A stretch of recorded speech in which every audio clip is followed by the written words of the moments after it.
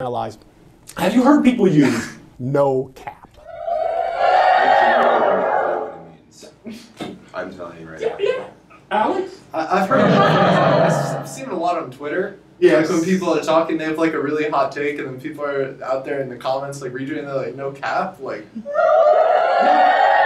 a while, and like they, they got baseball hats, like.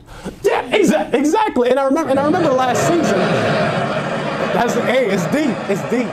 And I remember, are, you guys? Let me talk.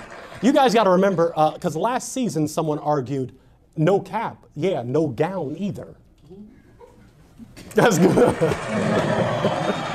so we, we had a situation where these people, uh, you know, they, they wouldn't even graduate and they didn't have a gown, they didn't have a cap. But in this area, uh, can, can you guys guess what that might mean? What, what might no cap mean?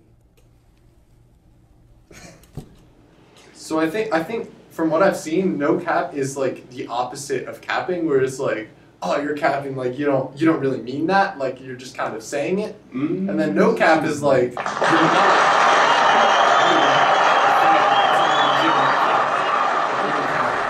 I love that Alex said that because he, he just made it make sense for me. Because when I would see people post it, I thought they literally lost their hat. And it would be like, man, no, no cap, you know? Parker, what do you think? It sounds kind of just like a shrug off the shoulder, like I'm being straight with you. Mm, okay. Oh, keeping it real. Keeping it real. Okay. No cap. No cap. That this show is great.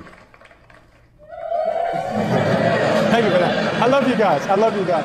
Uh, now, this is a saying that has been popularized.